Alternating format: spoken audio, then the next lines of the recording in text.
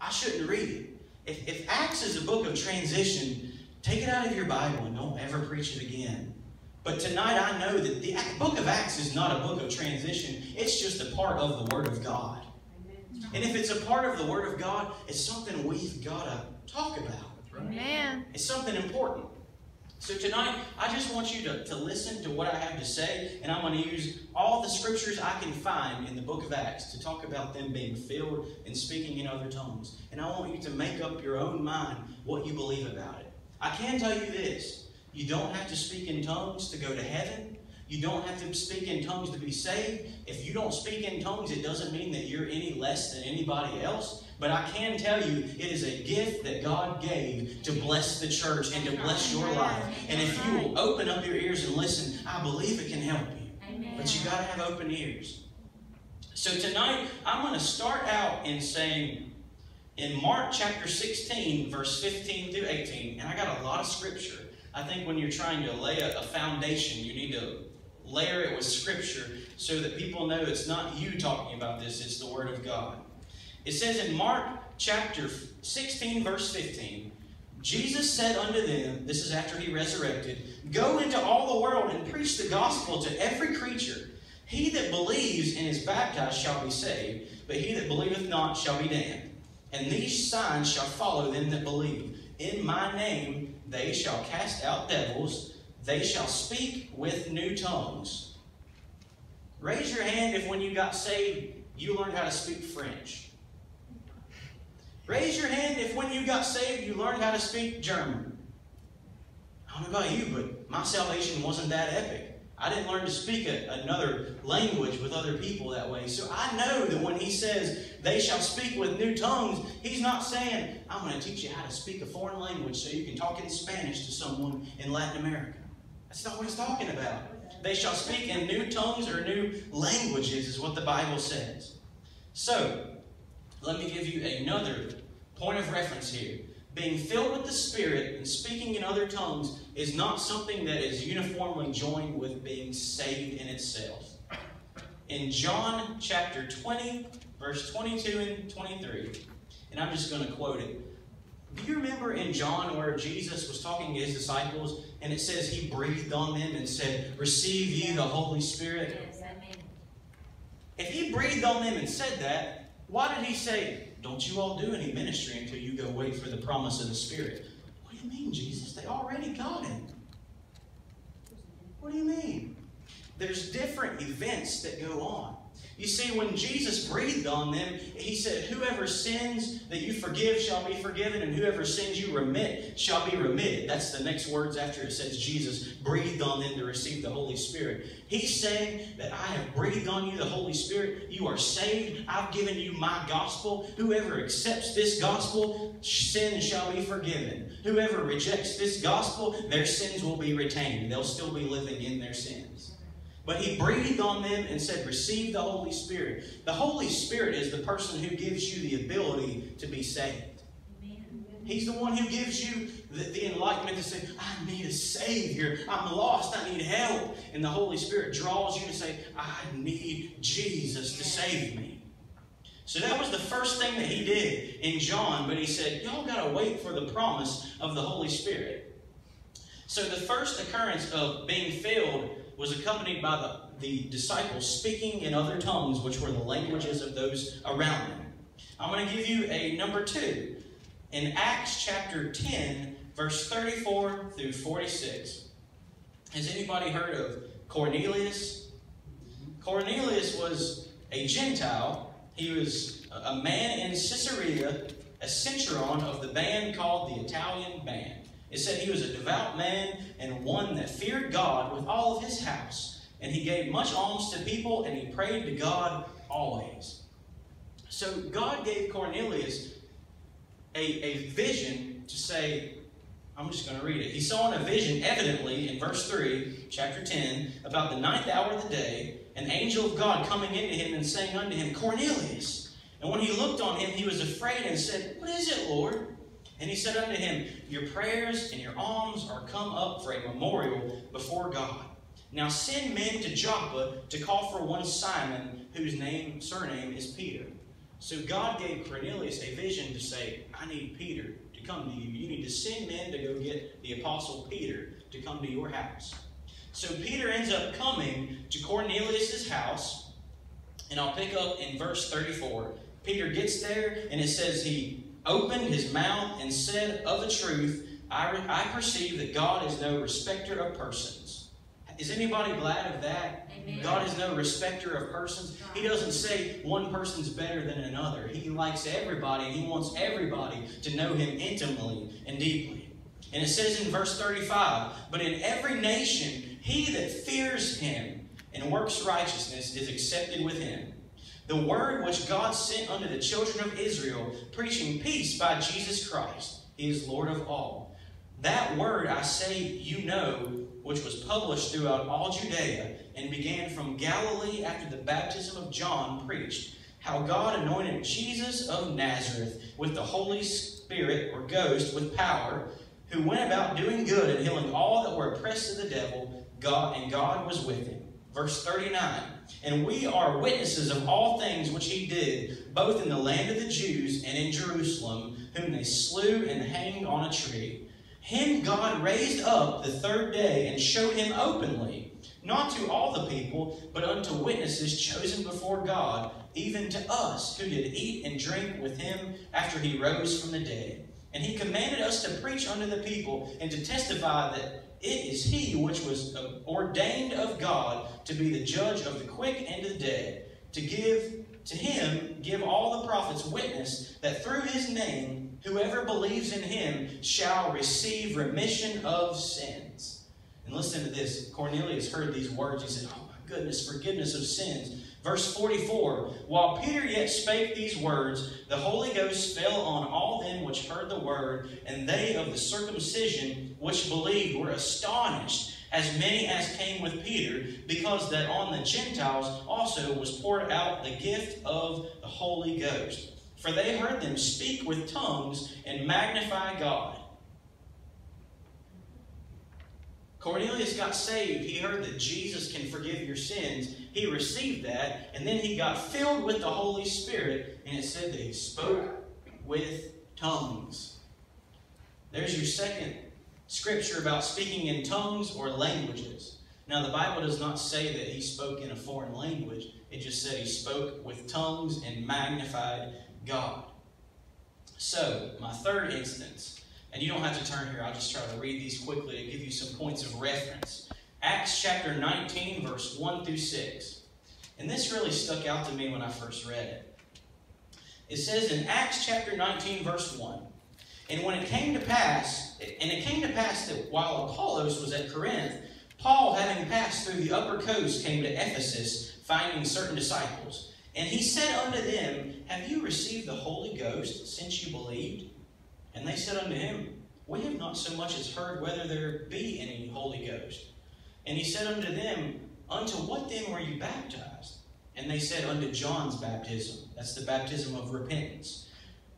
Then said Paul, John verily baptized with the baptism of repentance, saying unto the people that they should believe on him which should come after him, that is, on Christ.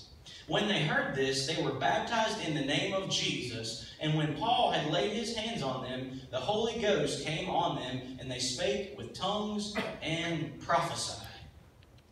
There's three instances we see of speaking in tongues. So I'm going to give you another example in Acts chapter 19, 17, and 18. And I'm not going to turn there. I'm just going to tell you what happened for time's sake.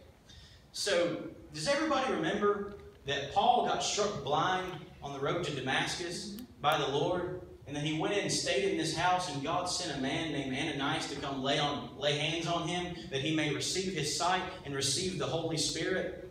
That's what the Bible says. Ananias came and laid his hands on Paul. He received his sight, and he received the Holy Spirit. Now, if you read that account, there is nothing that mentions that Paul speaks in tongues at that moment.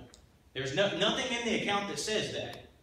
But if you read in 1 Corinthians chapter 14, verse 18, the Apostle Paul said, I speak in tongues more than you all.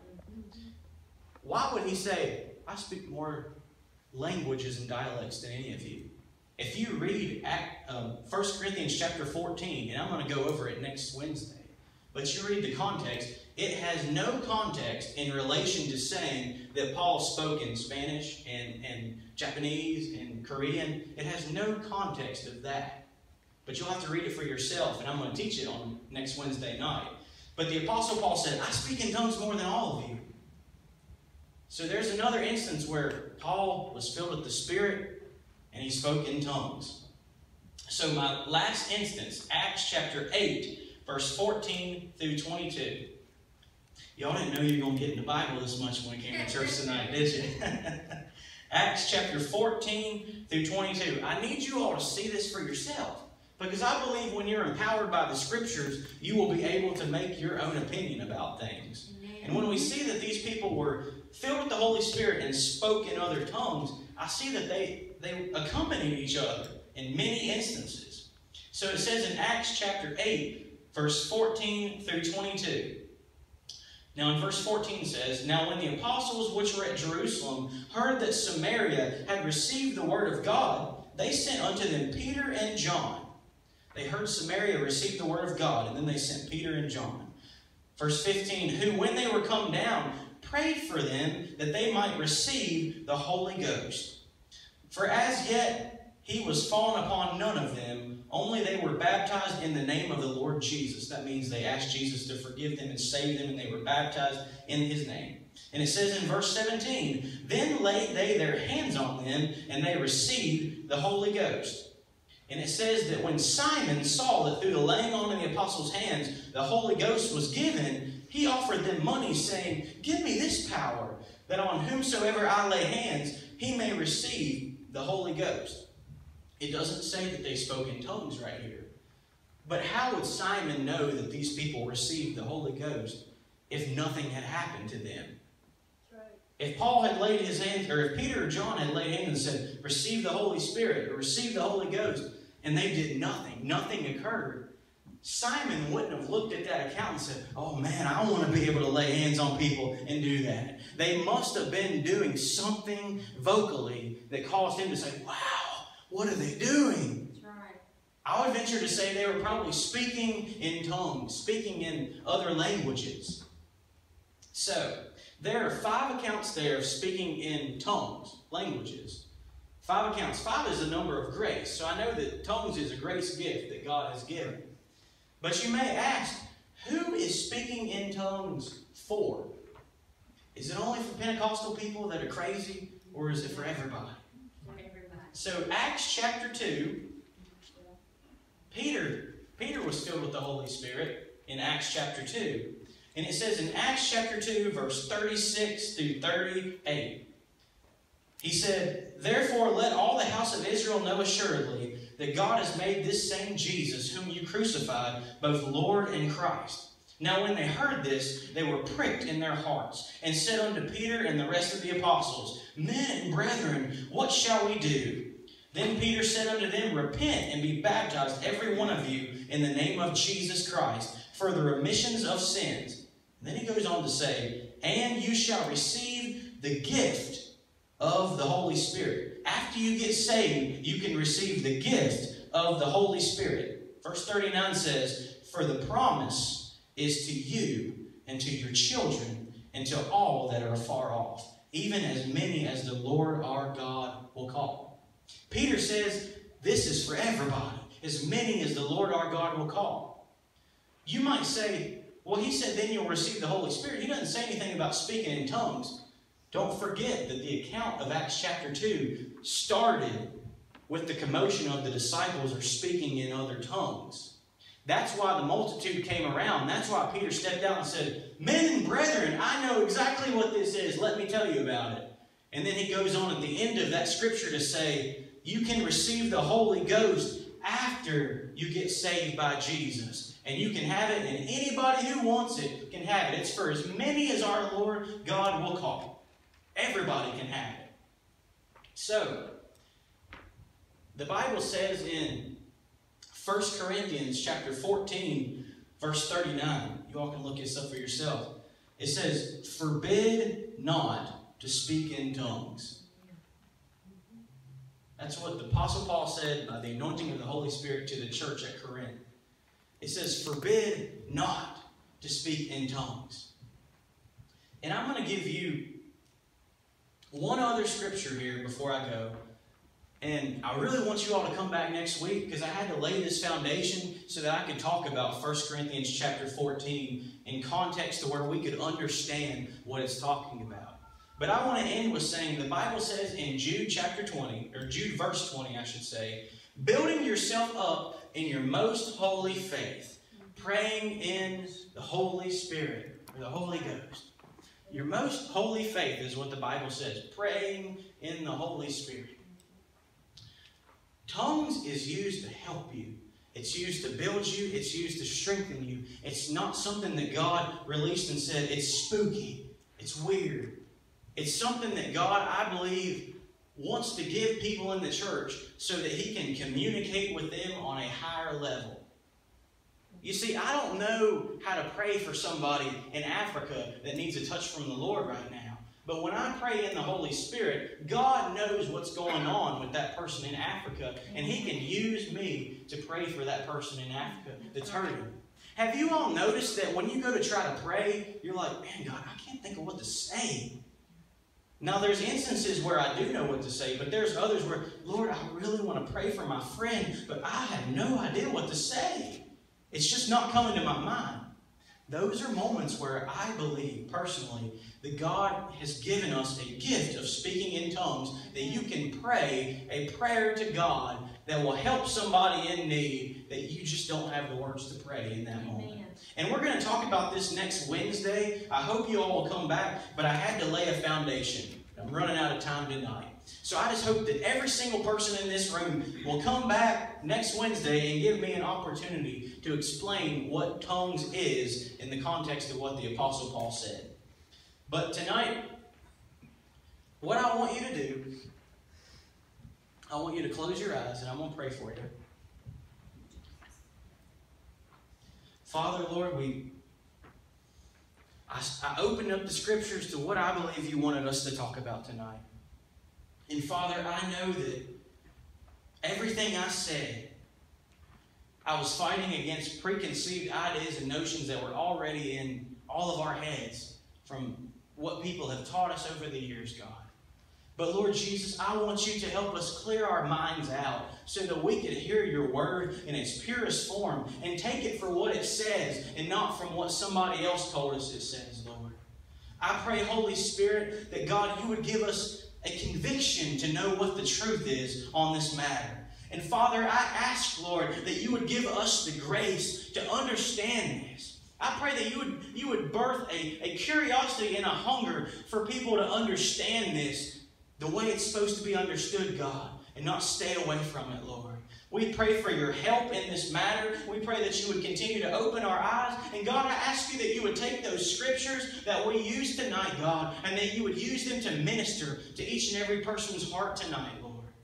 We thank you for what you have started, and we ask you, God, to give us grace until our next appointed time related to this lesson, Father.